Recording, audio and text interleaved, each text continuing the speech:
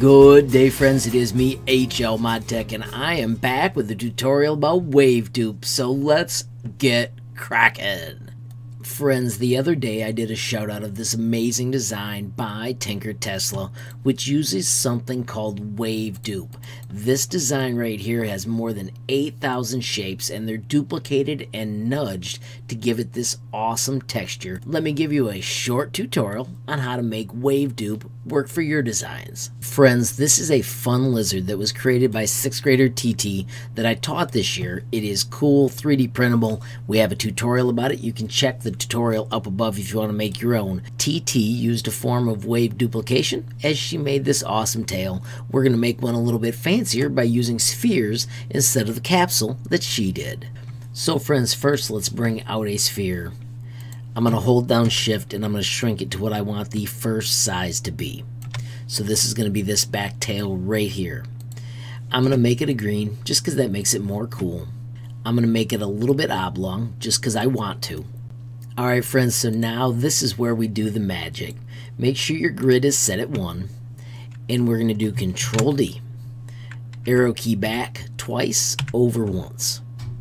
We are going to do Alt Shift, and instead of 9, I want you to type 8.6 and press enter. I'm going to set my nudge to 0.1 and I'm going to do control down one chunk. So it's going to sweep back and around. Now I haven't touched anywhere to cancel this out. So that's what makes this really fun. I'm also going to rotate it 20 some degrees.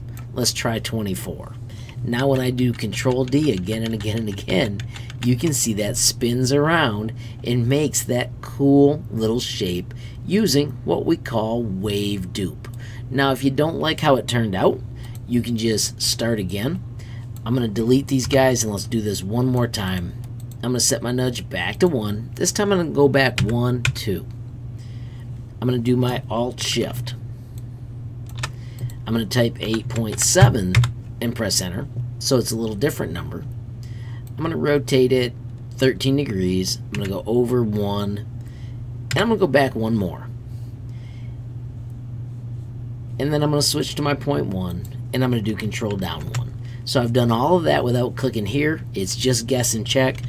Control D again and again and again. Oh my gosh, friends, that is a pretty sweet lizard tail. Same idea as this one, but you just go around and around and around as you use wave dupe to make awesome shapes. Friends, I do want to remind you that if you're 3D printing, we need to cut this off. Here is how I cut it off.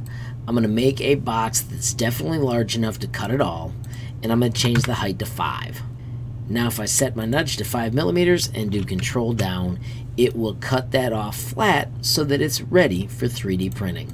I'm going to just select it all and hit group and we have just used wave duplication or wave dupe for short to make an awesome lizard tail. How fun is that? Alright friends, so in wrapping this up, that is how you do wave duplication.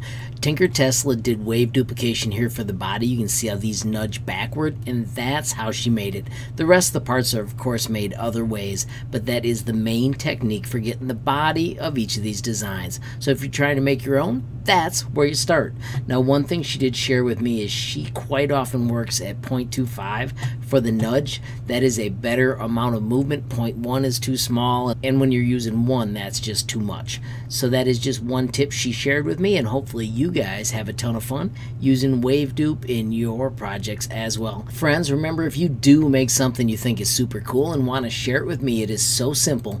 Click on this button, generate a link, copy the link, and reach out and share it with me. I am HL ModTech on Facebook, Instagram, Gmail, and TikTok. You can also find me on Twitter. I am HL Tinkercad. Of course, if that is not available, you can also visit hlmodtech.com.